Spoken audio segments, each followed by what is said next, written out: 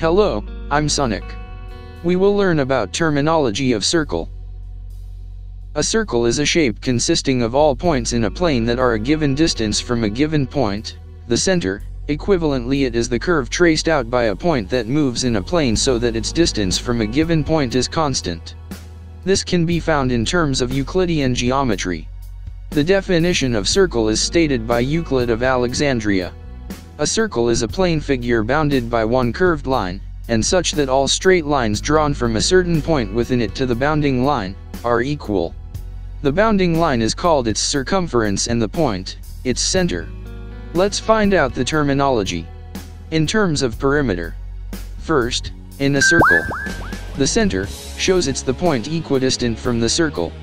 Secondly, a line which is drawn from the center to the edges of the circle. This is called a radius, or its half diameter.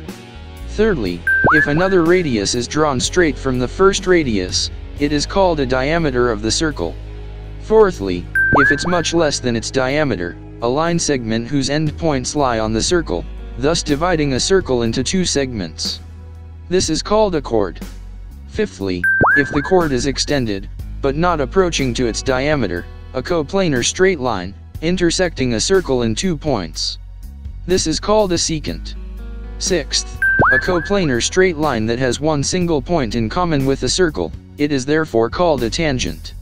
Seventh, an arc, that is any connected part of a circle. Specifying two endpoints of an arc in a center allows for two arcs that together make up a full circle. Eighth, the length of one circuit along the circle, that is 2 pi r, called the circumference. Now in terms of area. Ninth, the one of the two possible arcs determined by the endpoints of a diameter, taking its midpoint as center. This is called a semicircle. Its area is half of pi times r squared.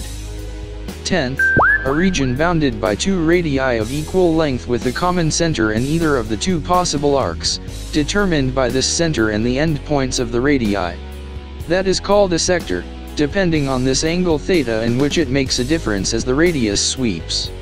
11th, one of the two possible arcs determined by the endpoints of a diameter, taking its midpoint as center.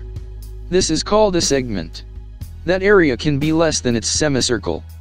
Number 12, a ring-shaped object, the region bounded by two concentric circles. This is called annulus. In annulus, we take two radii r1 and r2. Thus the formula is, pi times, r2 squared minus r1 squared. And number 13, the whole region of the plane bounded by a circle, called a disk. The entire disk is of full area pi r squared. So there are 8 parametric features and 5 area features of a circle. Hence the terminology shows it 13 total features. Like, comment, and subscribe now on YouTube.